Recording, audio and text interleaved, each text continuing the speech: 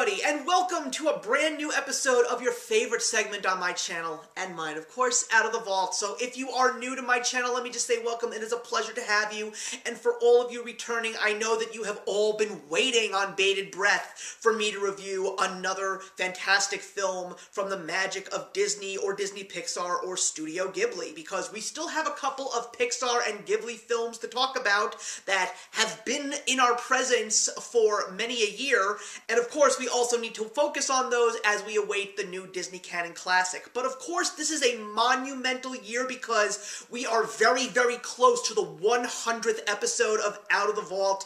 And based on my calculations, it looks like the 100th episode, God willing, is going to be a review of Raya and the Last Dragon. So I am just going to be very happy to say that it just only seemed appropriate that the 100th episode of Out of the Vault would feature a Disney Canon Classic. So it's going to be a very interesting year because not only do we have two Disney Canon Classics coming out in 2021, as well as another new Disney Pixar film, and I'm very excited, speaking of Disney Pixar, that the next episode will finally be my review of Disney Pixar Soul, because it is coming out on Blu-ray this month. But what I didn't expect was to actually give you guys the opportunity to see a review on a brand new Studio Ghibli film. I didn't even know that this one was even hitting theaters, and for me, it actually premiered on HBO Max on the American release day in theaters. And that, of course, is the 22nd Studio Ghibli film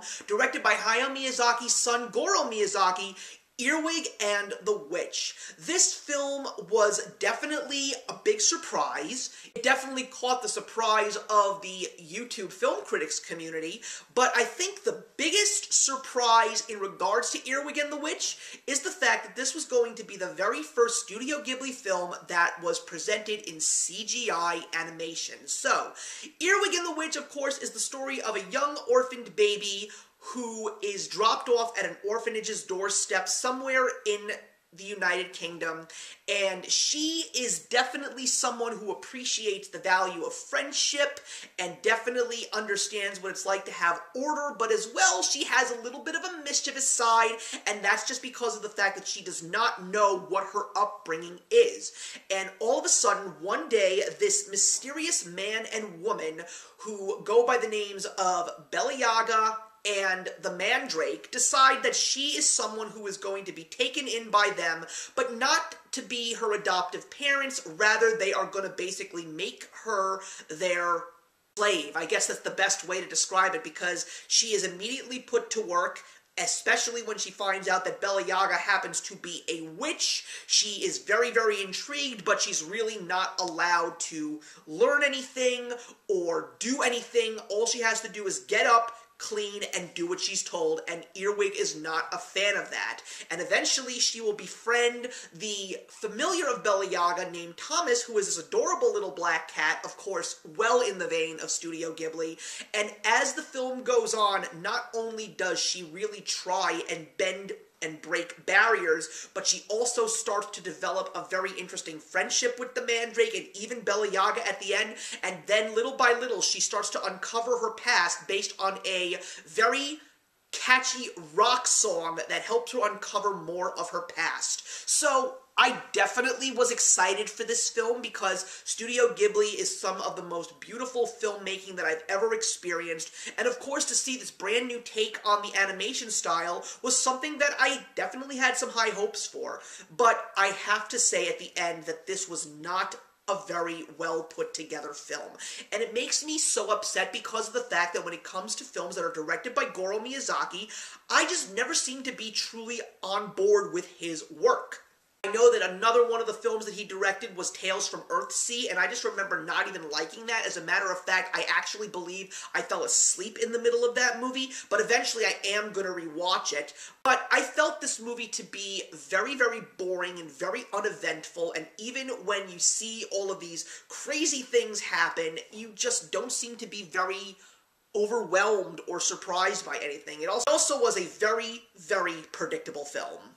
Now, I will say that there definitely were some highlights on this film, and that's definitely the voice cast. The little girl, Taylor Henderson, who was chosen to play Earwig, just in case you all don't know, I don't watch the original Japanese audio. I watch the English dubbed versions because I have a strange thing when it comes to subtitles. I only focus on the words and don't focus on the visuals. But there's also some other great cast members, including Richard E. Grant, who voices the Mandrake. We also have Vanessa Marshall, who voices Bella Yaga. And we also have Earwig's mother, who is voiced by Kacey Musgraves, and of course my highlight in this film is definitely Thomas the Cat, who is voiced by the great Dan Stevens. I chemistry between Thomas and Earwig is definitely adorable. I'm also not going to say that I didn't find this movie entertaining. I mean, there were some really witty jokes. There definitely were some very cute moments. But all in all, I just didn't get what I wanted out of a Studio Ghibli film, especially one that was very much a landmark in regards to the way it was animated. I was expecting something grander. I was expecting something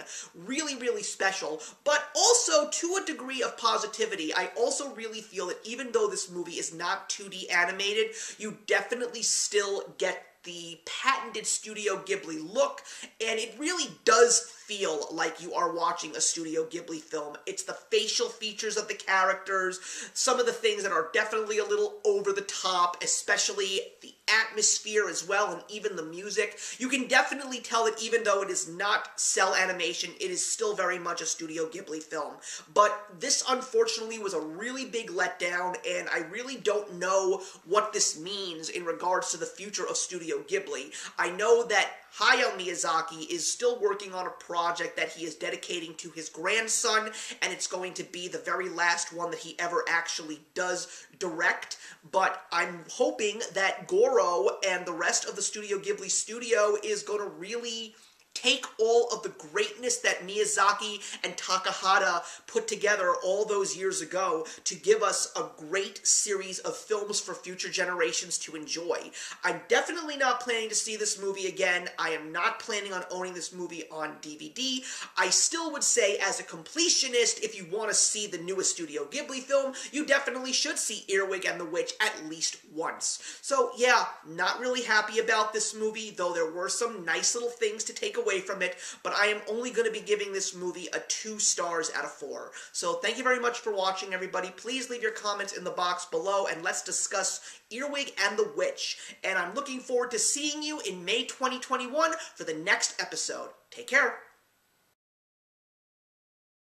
If you enjoyed the video you just watched, feel free to leave a comment. Also, feel free to subscribe if you want to be up to date with our latest videos. Thank you so much for joining us today, and we'll see you in the next one. Actions speak louder than words.